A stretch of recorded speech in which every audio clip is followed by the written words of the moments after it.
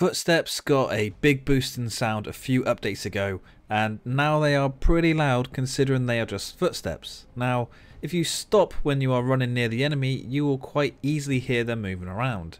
This has saved me multiple times just knowing someone is coming towards me or, or on the other side of a hedge or a wall. I've got many kills by being able to prepare myself and get into cover, shoot through a hedge or jump over a wall to surprise the enemy. It can also work against you though when you make too much noise and someone gets the jump on you. So in this video I will be looking at movement speed across different terrain to find out how to make less noise. So we're doing these tests from 100 meters away and well yeah you can see we're starting on the grass field. So I'll be stopping the target when I hear him so let's let's hope we're as accurate as possible.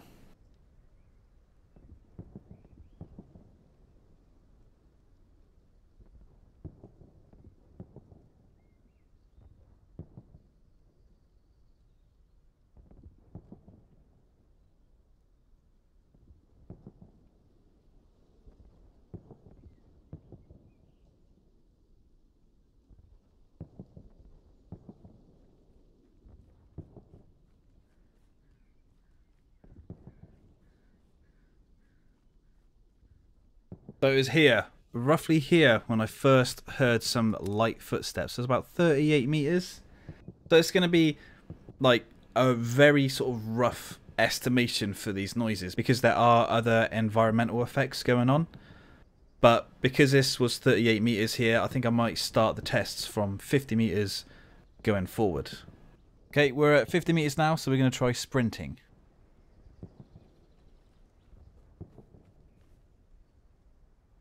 Was a little bit further back. So yeah, about about here as well. Oh yeah, about pretty much the same distance, really. Now from 50 meters, we're going to try crouch running.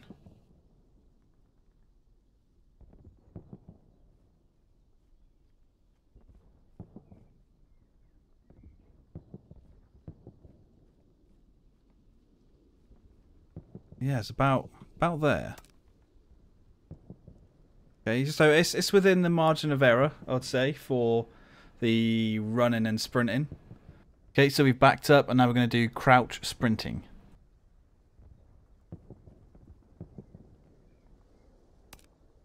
So yeah, about the same pretty much. And uh, transport van just blew up.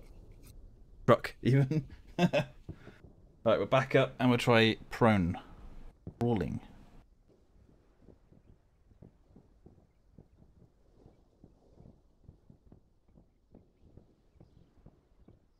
Okay, so uh, Proning is completely silent.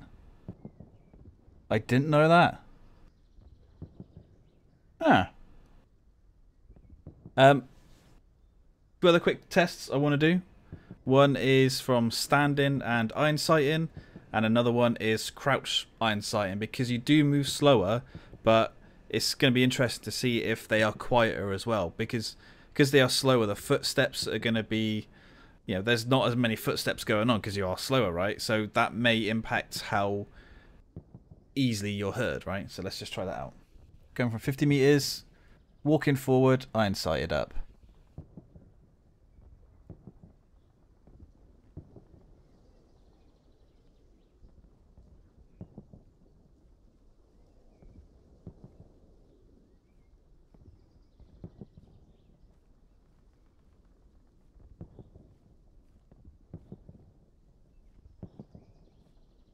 Yeah, so it's about here. I first heard it. Okay, so maybe a little bit less than running forward. Okay. Let's back up a little bit and try crouch iron sighted up.